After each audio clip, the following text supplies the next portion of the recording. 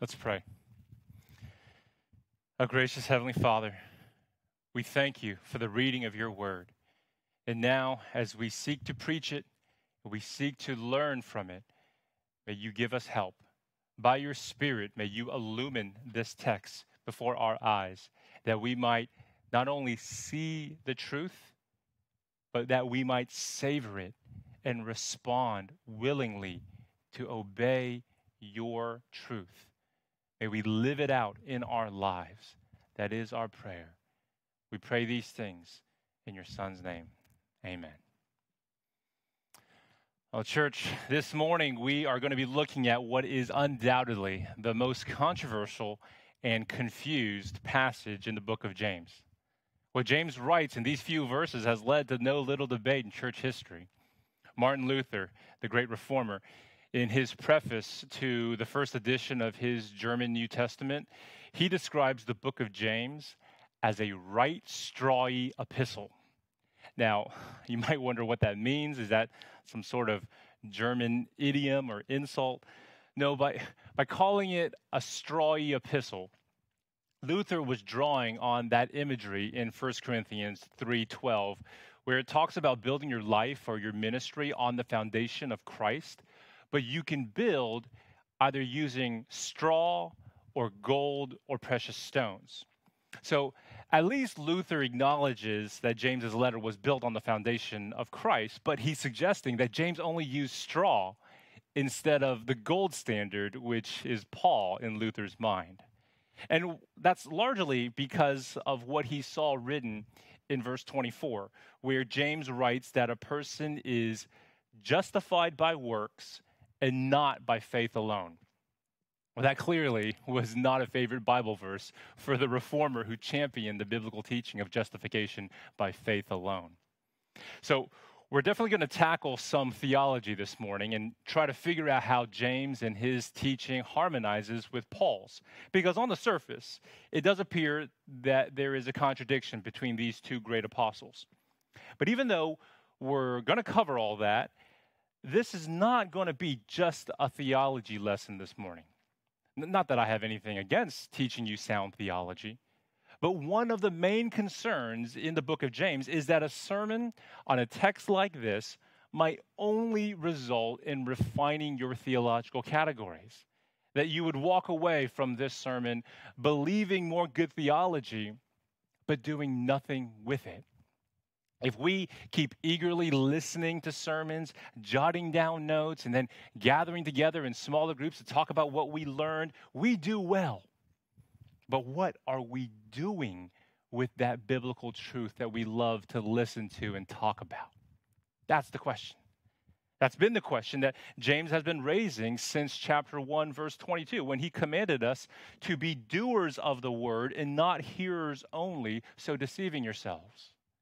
He's concerned that our Christianity might be all talk but no action, that our professions of faith are just empty words. James goes on to say that if we think ourselves to be religious, but our hurtful words go unchecked, or we have no concern for, for widows and orphans in their distress, or if we just simply tolerate the worldly stain of sin, then we are deceiving ourselves. We're fooling ourselves to think that we have real faith. And then he goes on into chapter 2, verse 1, and he calls out the inconsistency of claiming to hold the faith in our Lord Jesus Christ, the Lord of glory, and yet to go on and show partiality or favoritism towards the rich over the poor, or really towards any group over another. Again, his concern is that our professions of faith might be merely empty words. You know, we know the two greatest commandments in the law are to love God and to love your neighbor as yourself. We've heard sermons on that. Maybe we've done Bible studies on those few verses, and we do well for doing so. But what are we doing with those words? Are we living them out? do our professions of Christian faith translate into works of Christian obedience? Well, church, we are definitely living in a unique time during this pandemic. It's a first for all of us. But it's not the first time that the church has been forced to live out her faith in the face of a deadly virus. In the third century, a devastating plague swept across the ancient world. And while droves of people were fleeing the crowded cities, it was the Christians who remained in the city to care for the sick at the risk of contracting the plague themselves.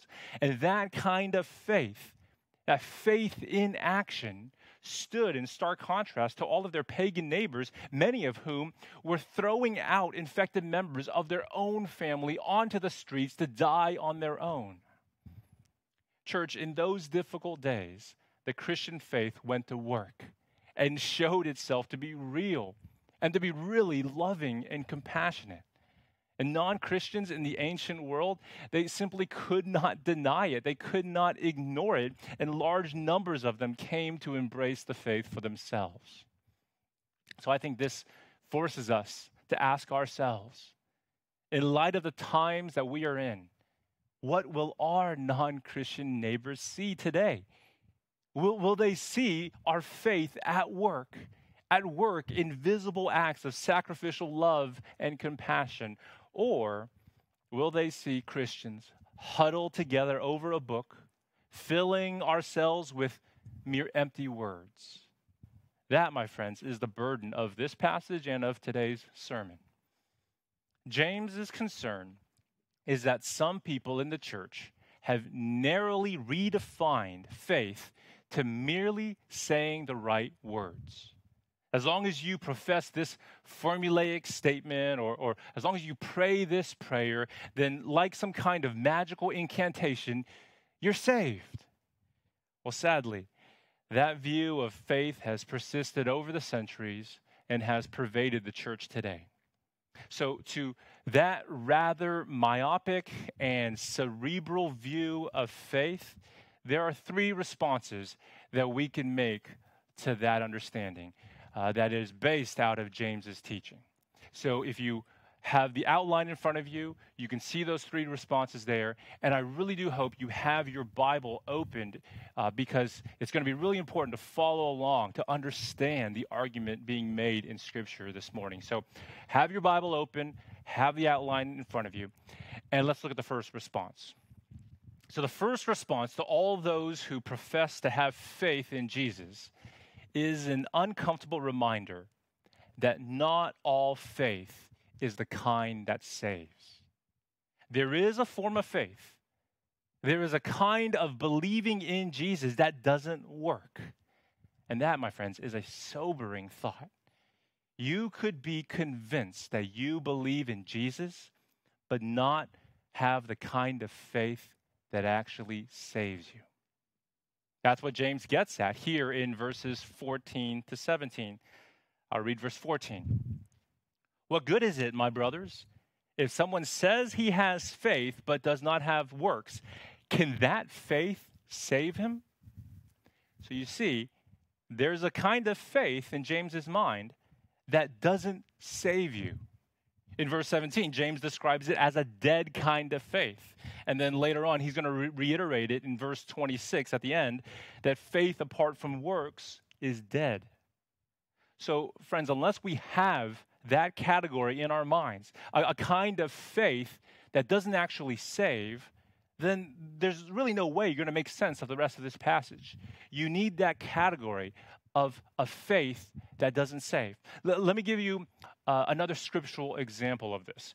Uh, turn with me in your Bibles to John chapter 2, verse 23 to 25. Uh, listen to this passage describing Jesus and the crowds that were following him. Now, when he was in Jerusalem at the Passover feast, listen to this. Many believed in his name when they saw the signs that he was doing. But Jesus, on his part, did not entrust himself to them because he knew all people and needed no one to bear witness about man, for he himself knew what was in man. So notice there how it says that many believed in his name, and yet And yet, Jesus, on his part, did not entrust himself to them. So, what we have here is that there are many believing in Jesus, but, but he didn't believe in them. Many trusted in Jesus, but he didn't trust their faith. It says that he knew what was in man. So Jesus knew that these people were still spiritually dead, and all that they could produce was dead faith. Now, if you look back to our passage in James 2, he's saying that that kind of dead faith is characterized by a lack of works. Now, in this context, when he talks about works, James is referring to any act of Christian obedience to God, what we would typically call good works. So James is asking the question what good is it if you claim to have faith, but you don't have any good works to back up that claim? Then he goes on in verses 15 to 16 to offer for us an illustration of the interconnectedness between faith and good works.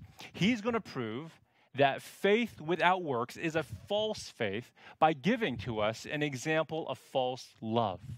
So listen to verse 15. If a brother or sister is poorly clothed and lacking in daily food, and one of you says to them, Go in peace, be warmed and filled, without giving them the things needed for the body, what good is that? Well, obviously, it's no good you can call it Christian love, but it's not the kind of love that works. It amounts to just a bunch of empty, pious words. James's whole point here is that you don't really love your brother or sister if you only profess love without showing love through action, through good works. And so, in the same way, you don't really have real faith in Jesus if you only profess faith without showing faith by your actions through your good works. Now, look at verse 17. So also, faith by itself, if it does not have works, is dead. So James is saying that some faith is merely dead faith.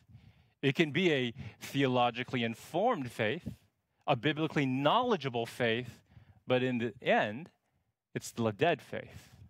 And if you keep on reading in verse 19, James, he goes so far as to say that some faith is merely demonic faith. It's not just dead faith, but demonic faith. Look there. You believe that God is one, you do well.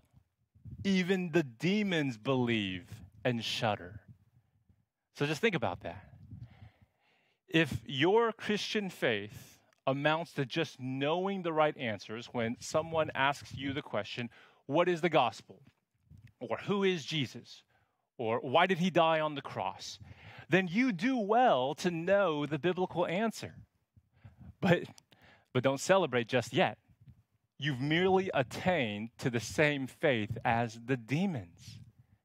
Do you realize that demons have good theology. They probably have better theology than us. They know who Jesus is. They believe that he is the Son of the Most High God. I mean, the gospel accounts tell us that the unclean spirits would scream out his identity and they would shudder in his presence. So just think about it. Demons are terrified of God's judgment, they don't want to go to hell either. And they can say that they believe Jesus is the Son of God who died on the cross and rose again and he's coming back again. They can affirm all of that, but they're still demons. They're still not saved, and they're still going to hell. They believe all of those truths about Jesus and his gospel, but they hate those truths, and they have not staked their lives on those truths. So, what then does this mean for us?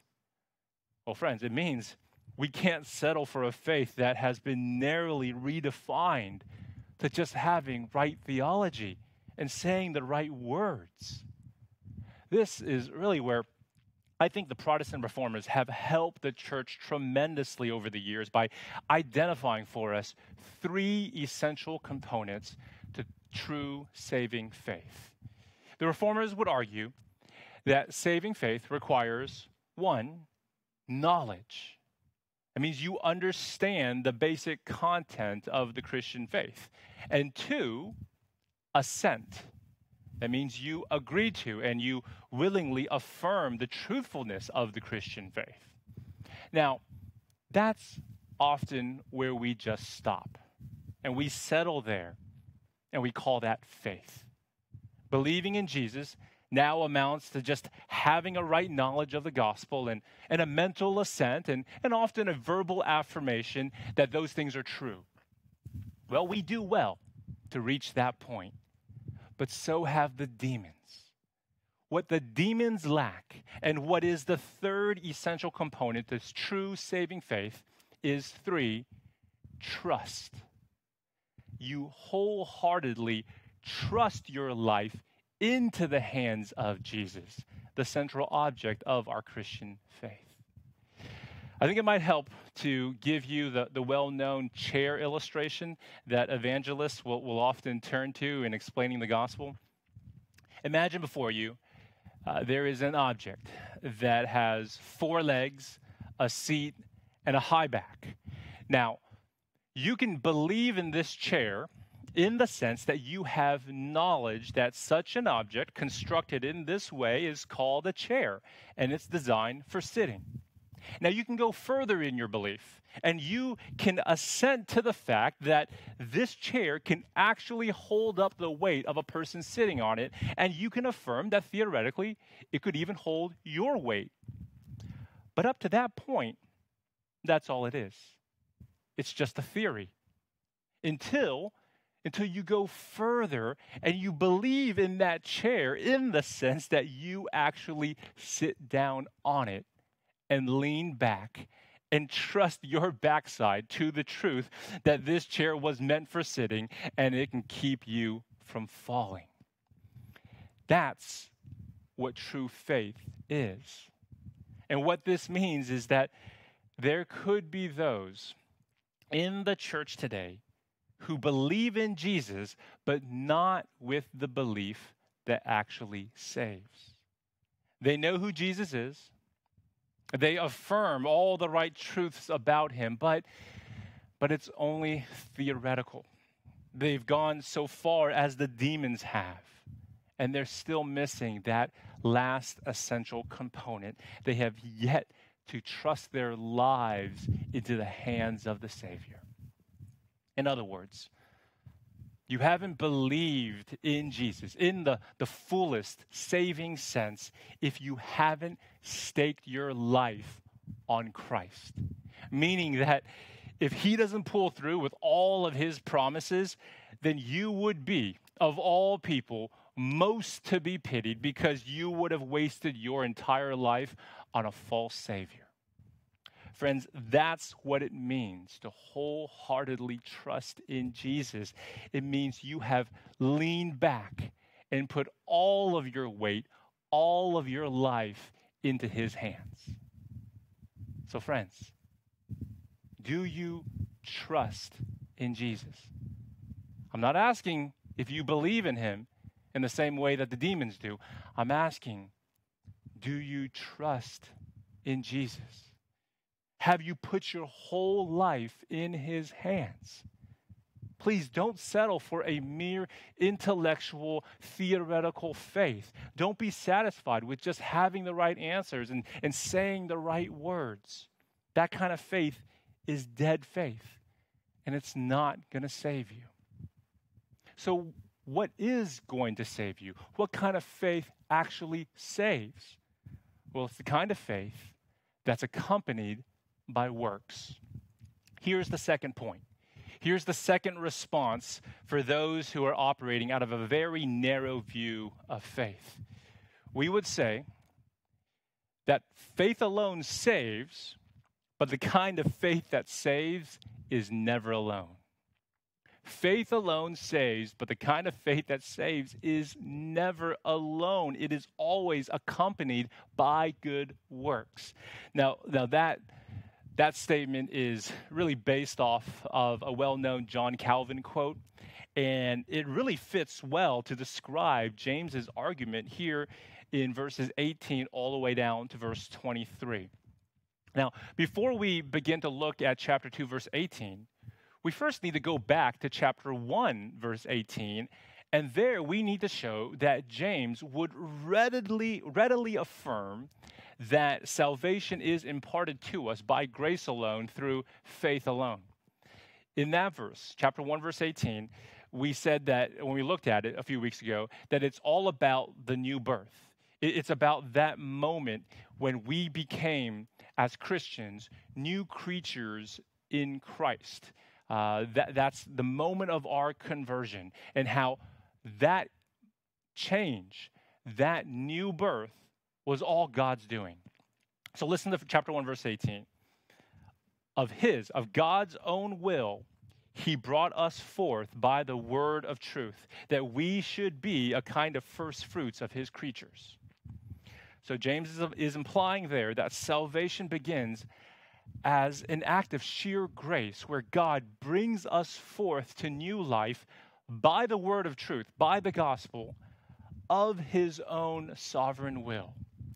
So let that be clear right in the beginning that according to James, we are saved by grace alone, through faith alone. But that kind of faith is never alone, it's always accompanied by good works. Okay, now we're ready to go back to chapter 2, verse 18.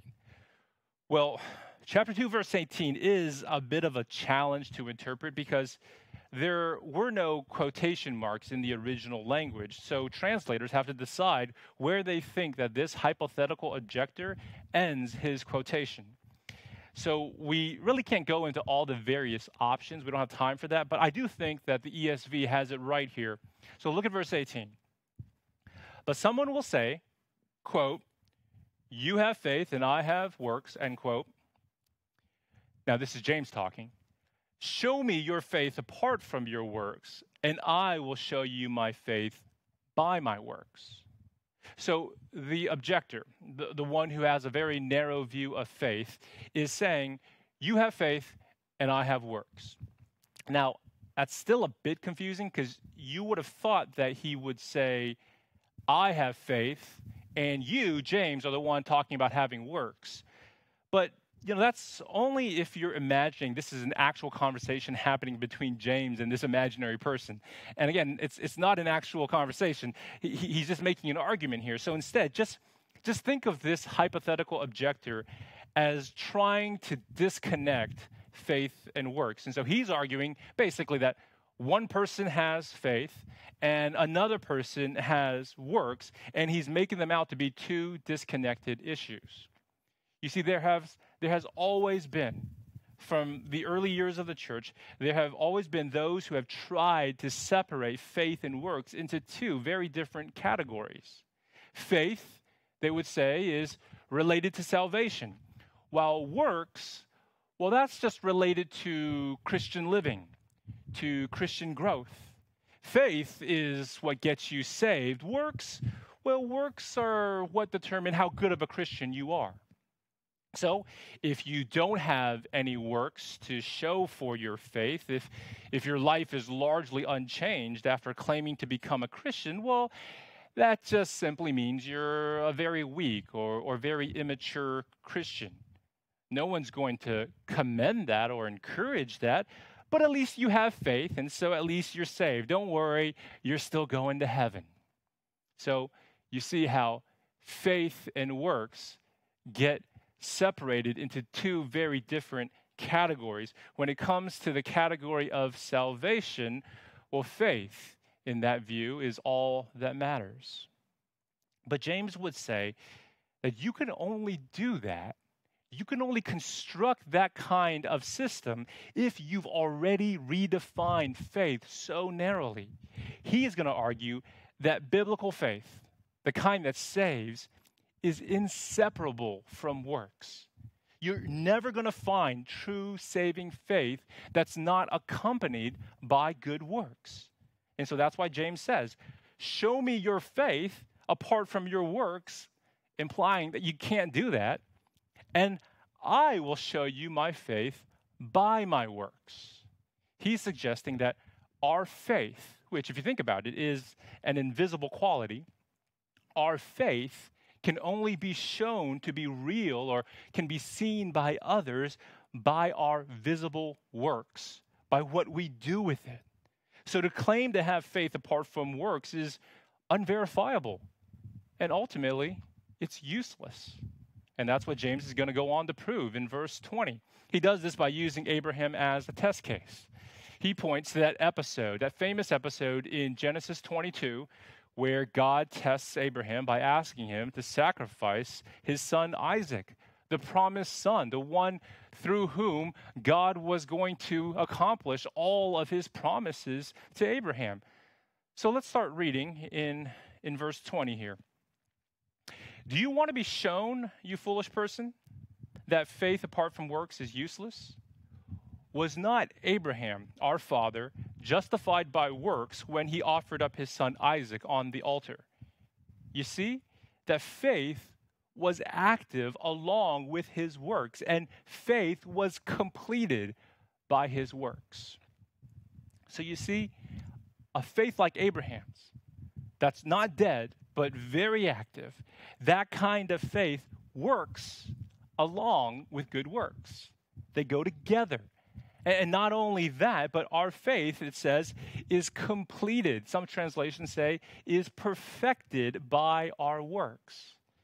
Now, don't let that language confuse you. It's not suggesting that our faith is incomplete or somehow imperfect, that, that it can't save us unless we add works to it.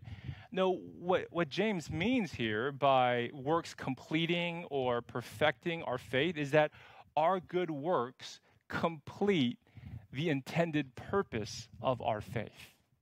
The whole point of having faith is so that you live a life of obedience to God, especially especially when he calls you to sacrifice something precious in your life, when he calls you to do something very hard. It's in those moments when true faith is activated and shows itself to be real through faithful obedience.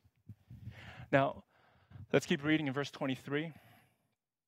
And the scripture was fulfilled that says, Abraham believed God, and it was counted to him as righteousness, and he was called a friend of God. Now, there's another quote there. There's a reference back to Genesis chapter 15, verse 6, back when God made a promise to Abraham, a promise to give him a child when he and his wife were well past the age for having children. That right there, that moment in his life, that was the moment for Abraham when he was justified, when he was counted as righteous, as accepted in the eyes of God. He was accepted by God and called God's friend, all because he believed. He believed in God's promises. That's where we would say that Abraham was justified by faith alone. Now, what James is going to do is he's going to argue that the events of Genesis 22 fulfilled the promise of Genesis 15. In Genesis 15, Abraham is counted righteous by God before he does any good works. It's only by faith, faith alone. Then later in Genesis 22, we see Abraham behaving righteously. He does a very good work. He is willing to do the hardest thing by sacrificing the most precious thing, all out of, out, out of obedience to God. Abraham's actions in Genesis 22 validate, prove true God's declaration about him back in Genesis 15 when he declared Abraham to be righteous and he called him his friend. That's what James is arguing. That we are saved by grace alone, through faith alone, but that kind of faith, the faith that saves, is never alone. It always shows itself through good works, just like we see in the life of Abraham. And, and those works, those works that we do, complete the intended purpose of our saving faith, which, on the one hand, is to love others with all of those acts of mercy. But ultimately, friends, ultimately, our works are meant to glorify God by validating and vindicating him, by proving that he was right all along when he declared us to be his righteous ones. Where at, upon our conversion, he called us his holy children, he called us his friends. When we live out our faith and we do good works, we are proving him to be true when he declared us righteous, justified by faith alone. Look, friends, I, I, I know all of this is kind of get, getting a bit dense. It, it is getting a bit theological here. So let me just try to put this as straightforwardly as possible. It really all depends on how you understand the whole point of your salvation. Just think about it this way if you were saved simply to get you into heaven when you die, well, then sure. Within that framework, you wouldn't really need works. You'd be fine with faith apart from works. But if the point of Christian salvation is about not less than getting you into heaven, but so much more, well, then you're going to need a faith that actually produces works. If salvation is about converting you into the kind of person who can't look at a brother or sister who's going hungry and, and, and simply just offer empty words, or, or, or a person who can't see a, another person who is sick because of the pandemic or, or hurting because of racial, uh, racial injustice and, and simply just turn a blind eye. If, if salvation is meant to enable you to become the kind of person who fulfills the royal law of loving, loving your neighbor as yourself, well, then you're going to need a faith that's accompanied by good works. And if salvation is ultimately about glorifying God and proving Him to be true, when at our new birth He called us righteous and precious in His sight, then you're going to need some works to go along with that alleged faith. Perhaps, perhaps the reason why we can be so settled with a faith that is so cerebral is because our view of salvation can be so self centered and individualistic. But if salvation is really about glorifying God and about loving others, then it only makes sense that that kind of faith that saves is the kind that's going to show itself through good works. Well, friends, having that understanding in place, I think we're now ready to look at the hardest verse in this passage, the one that seems to show an apparent contradiction with Paul. And it's only going to make sense if you understand that whole idea of God's declaration over us, his, his declaration that we are righteous, uh, which is based on our faith, that that declaration is validated, proven true by our works. Once you get that, well, then all of this fits together. So, uh, first, let me just give you the third point, the, the third response that we would give to those who have a truncated view of faith and salvation. We'd say that God's acceptance of us is based on faith, but validated by works. God's acceptance is based on faith, but validated by works. So let's, let's read verse 24 which is really a summary of James's entire argument. Verse 24, you see, you see that a person is justified by works and not by faith alone. Okay. Well, consider that statement in light of what the apostle Paul writes in his letters. So, take for example in Romans chapter 3 verse 28. This is what Paul says. For we hold that one is justified by faith apart from works of the law. So we've got Paul saying you're justified apart from works. Now, James is saying you're justified by works. Okay, on the surface, it looks like a contradiction. But plenty of commentators have offered plenty of explanations. And I, I think the best is to affirm that James and Paul are using the same terms with basically the same definitions. But the thing is, is that they are addressing two very different concerns. Among Paul's audience, the big concern was how you enter into a relationship with God in the first place. For God to accept you, to forgive your sins, and to declare you righteous in His eyes, the question is what role does faith and works play in that equation?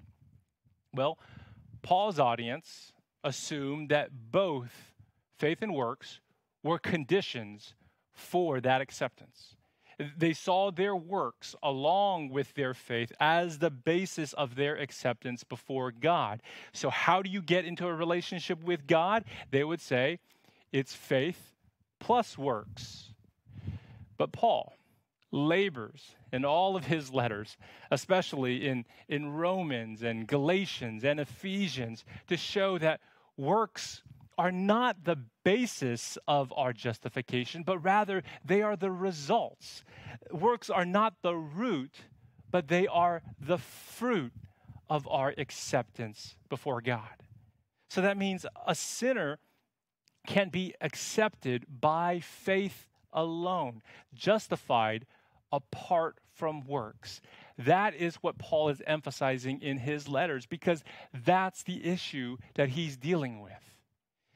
James, though, you have to understand, was dealing with a different set of concerns. While Paul was speaking to those who insisted on obedience as a condition for their justification, James was addressing those who assumed that they were already justified and they dismissed the importance of obedience altogether. So, unlike Paul, James's concern is not with how you get into a relationship with God in the first place apart from apart from works. No, James's concern is with those who claim to already be in a relationship with God but who have no works to show for. So when James speaks of justification, he's not focused on that initial declaration of God's acceptance when you first believe. That's Paul's focus. James is really focused on that final day when your faith is finally tested. When you stand before the throne of God, will there be fruit to validate the genuineness of your faith? To prove that you had the kind of faith that saves, the kind that actually justifies, or will you on that day prove that you were dead at the roots all along? That all along your faith was merely theoretical and cerebral, a dead faith, a demonic faith. Friends, there will be a final day of testing for all of us.